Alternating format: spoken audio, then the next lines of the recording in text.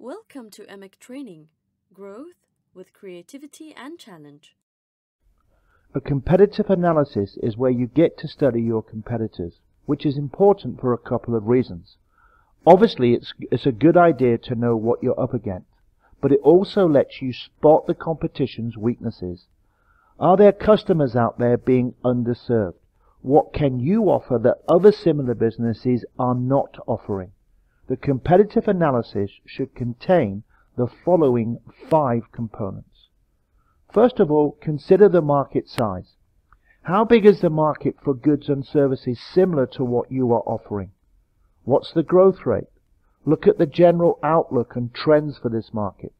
Who are the main competitors? Are there any secondary competitors?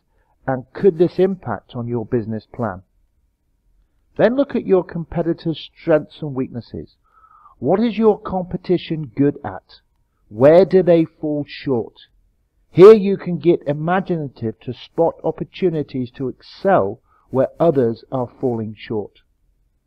Next, the importance of your target market to competitors.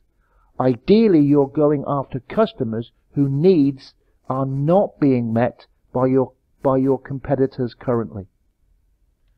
Barriers to entry.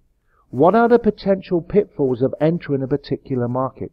What is the cost of entry? Is it prohibitively high? Or can anyone enter your chosen market? And lastly, look for windows of opportunity.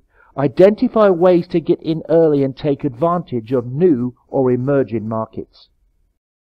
EMIC Training Growth with Creativity and Challenge.